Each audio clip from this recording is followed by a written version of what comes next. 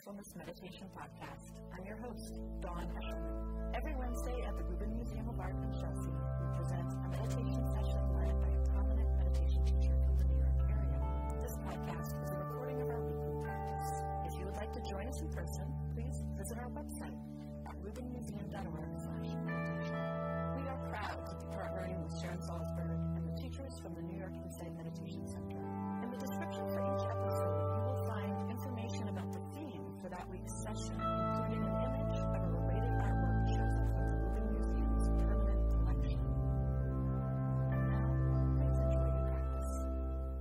Such a, a delight to have Tracy Cochran back. And she's the editorial director of Parabola, which is a quarterly magazine, and it has for 40 years drawn on the world's cultural and wisdom traditions. She has been a student of meditation and spiritual practices for decades and teaches at the New York Insight Meditation Center. Please welcome her back, Tracy Cochran.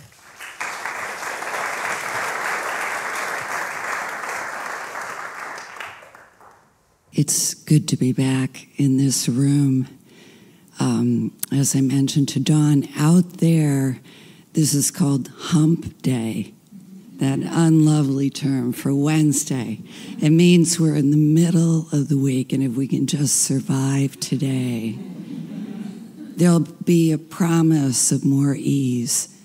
So even if you don't work in a job, you can have a feeling of the repetitious grind of life. And more and more so, I think. So it's beautiful to be in this room under this beautiful bodhisattva, this goddess of compassion, because it's very much what we can experience, at least at moments when we sit down and be still we bring a different kind of awareness to our muck. And that's the first thing we find when we turn our attention to it. I was thinking 10 years ago, I had a conversation with the religious historian Karen Armstrong that I wrote about in Parabola.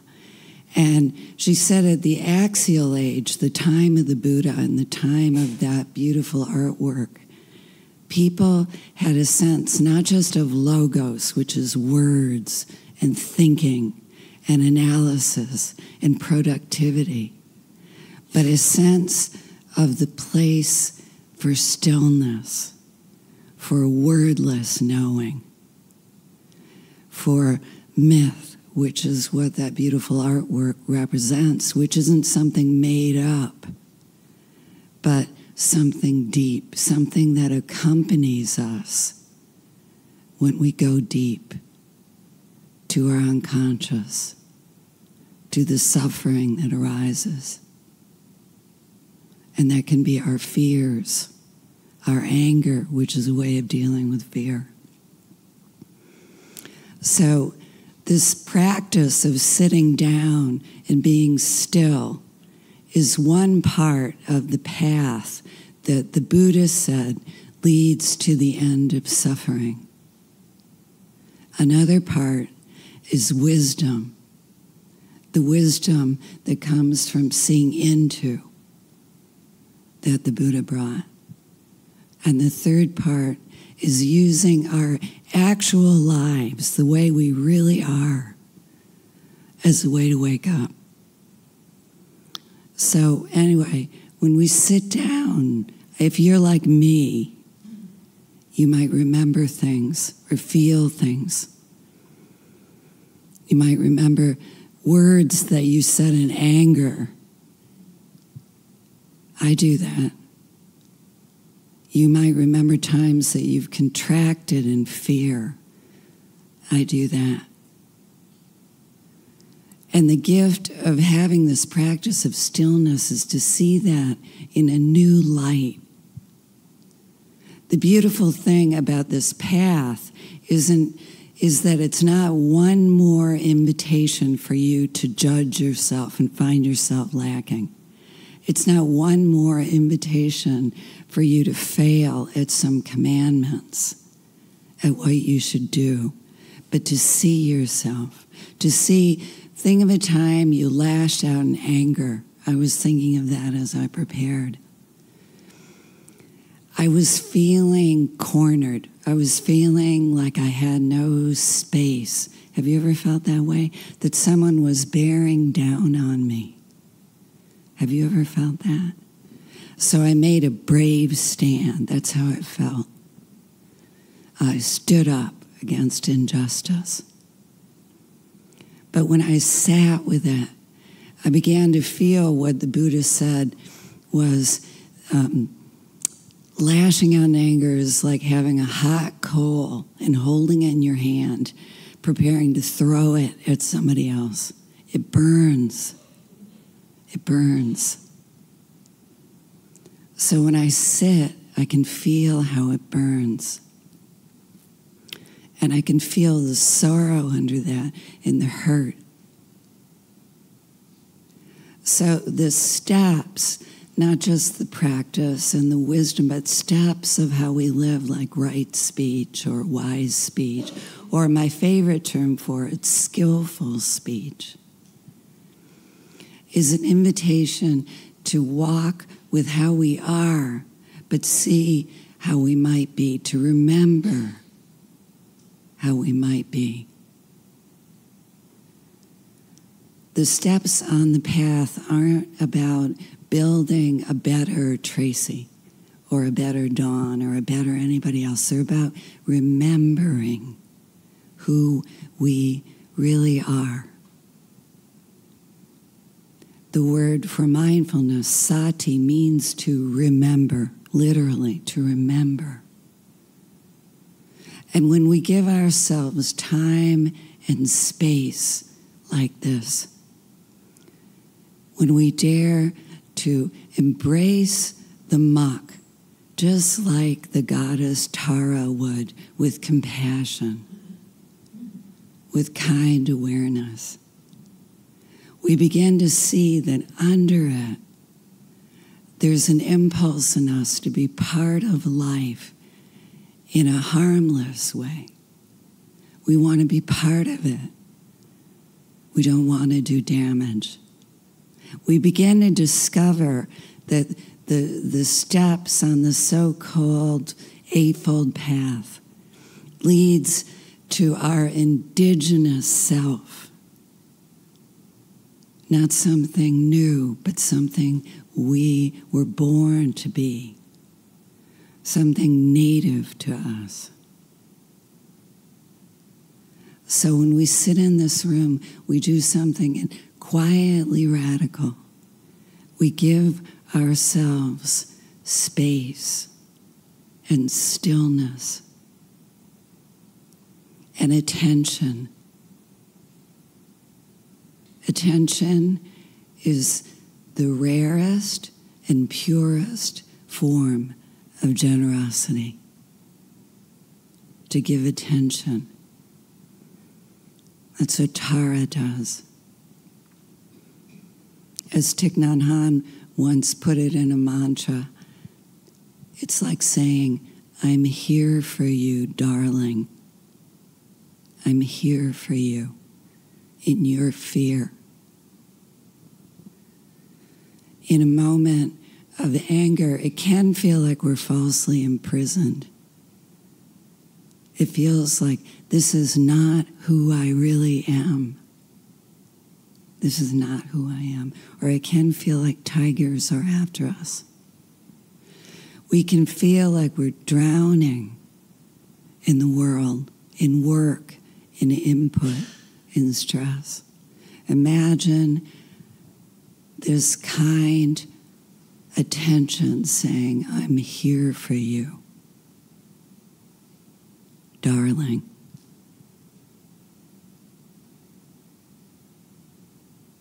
The poet Hafiz, who I mentioned last week, Persian poet, said, Fear is the cheapest room in the house.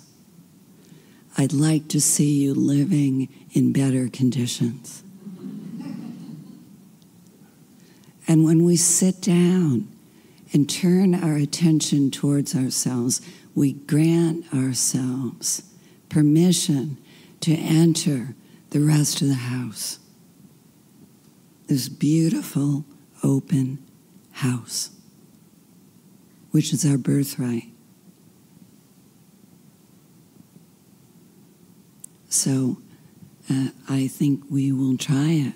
I could keep talking, but why don't we sit together and then maybe talk at the end? We take our seat. Our noble posture, as the early Buddhists called it, because that's who we were born to be upright, rooted to the earth. We allow the eyes to close unless we're uncomfortable with closed eyes, and then we can keep them gazing at the floor in front of us.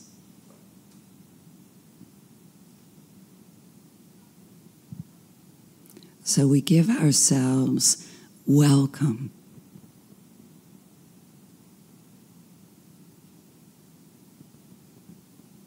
Welcome the body here and welcome all of its contents exactly as you find it today. Nothing is excluded.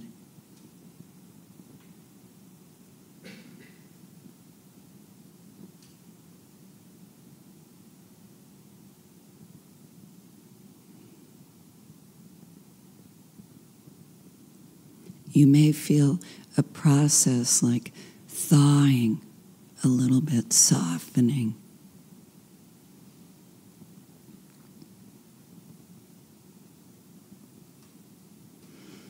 As you feel ready, allow the attention to come to the breathing without asking it to change in any way. Allow the attention to come home to the center of yourself, to the movement in and the movement out of the breath.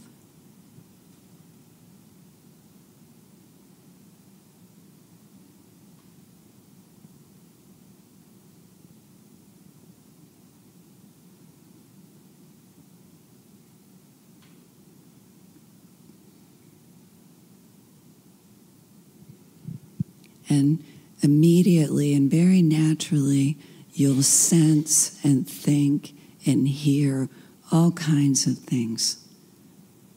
The sensation in the body, tensions that came in with you. A sensation of cool or warmth.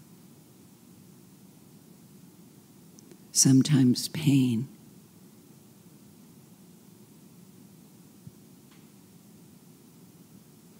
meeting everything with the sunlight of our awareness.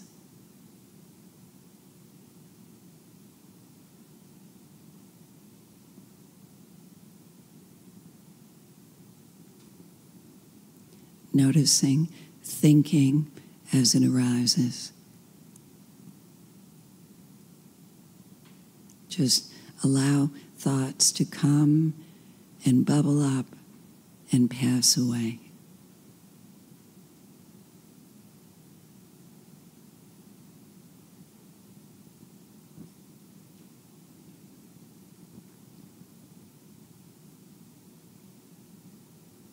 Sometimes thoughts stick. Just gently bring the attention home again to the body, breathing.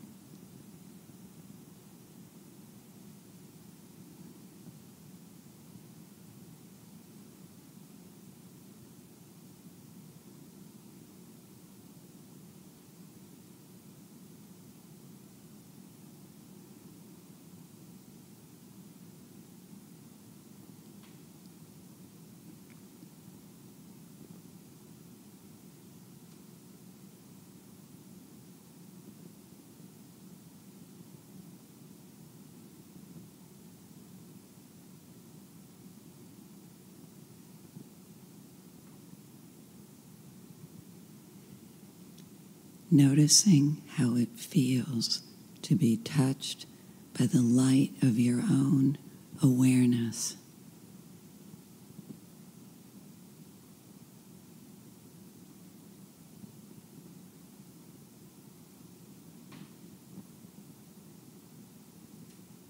Finding everything all right.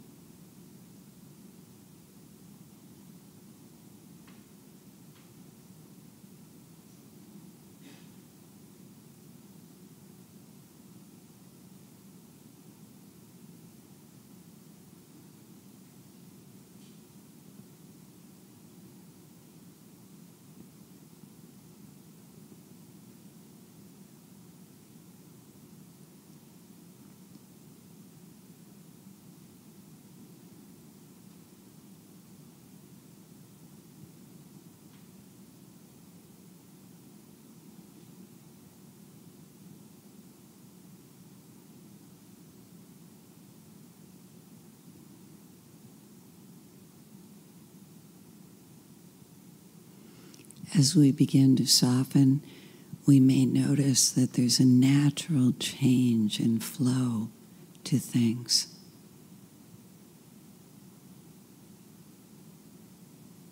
No feeling is final.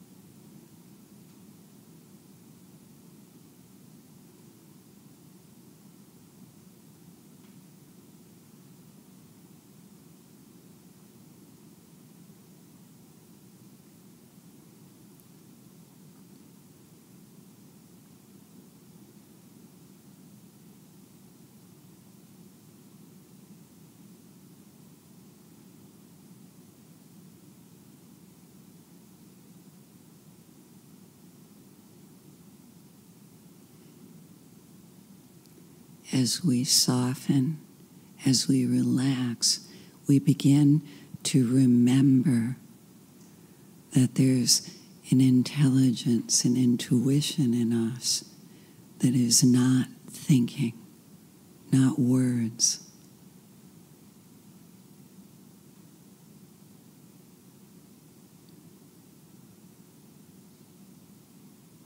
But a light of awareness in the body and the mind.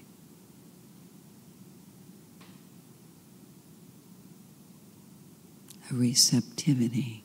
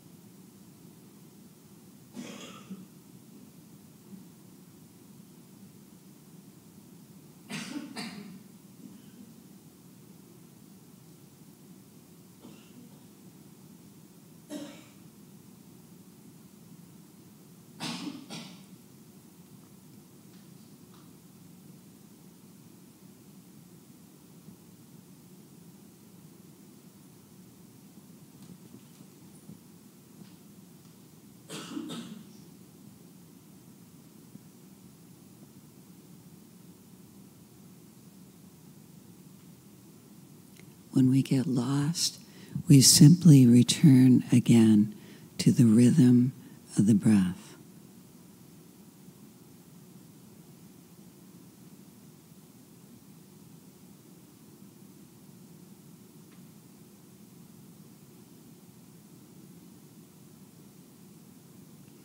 Noticing that we can be still yet open. Resisting nothing.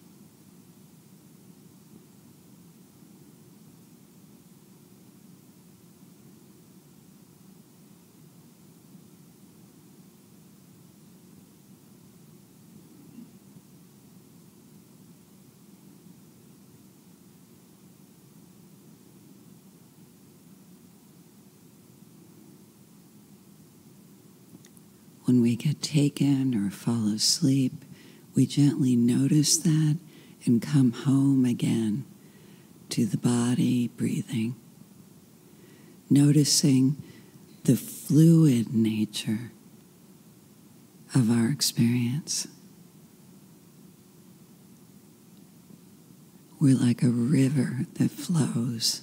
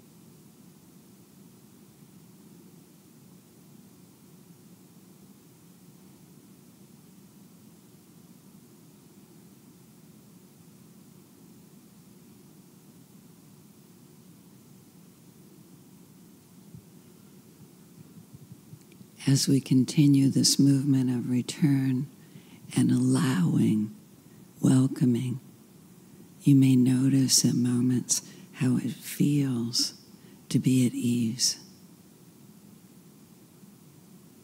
Allowing our experience, even our painful experience, to softly open like a fist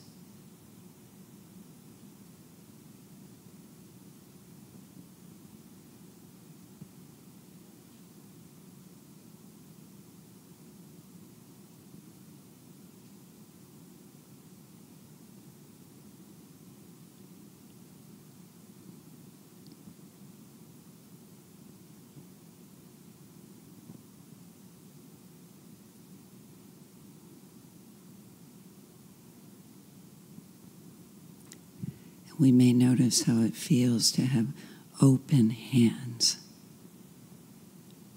willing to receive and give. Our true nature.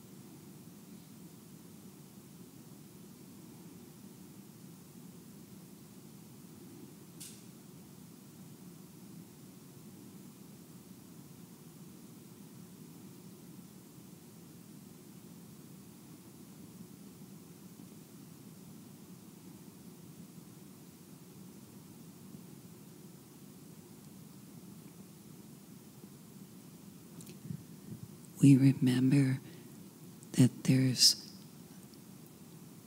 a true essence in us which wishes to be here,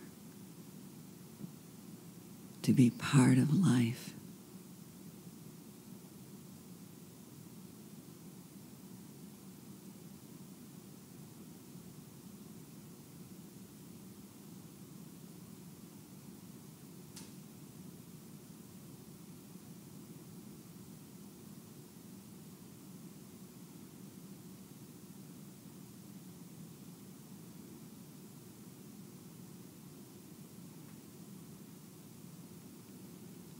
We may glimpse that this vibrancy, this light of awareness, is not ours alone, but something we share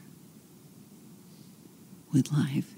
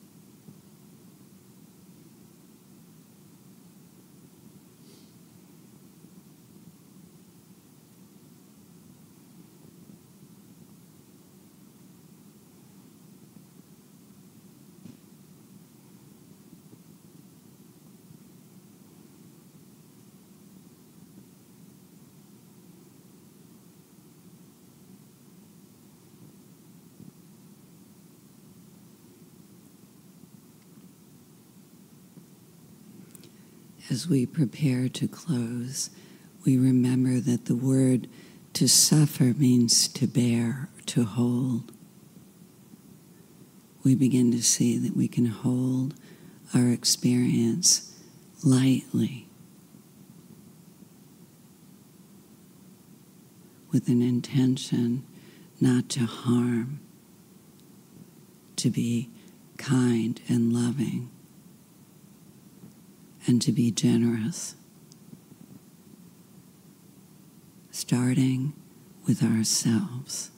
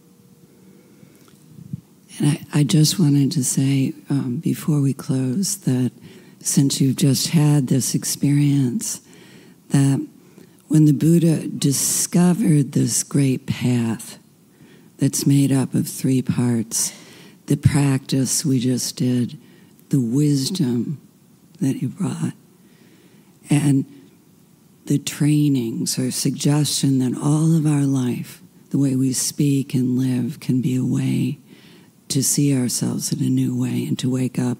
All of this is something that you touched when you sat, this, this rediscovery of another way. It's not something from far away, it's something in you. Did you feel that at a moment when you relax and open? This remembering of another way to be. That's the path and the way to have more ease with suffering. So, thank you.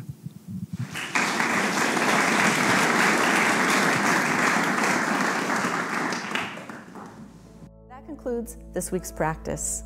If you'd like to attend in person, please check out our website, rubinmuseum.org/meditation to learn more. Sessions are free to Rubin Museum members, just one of the many benefits of membership.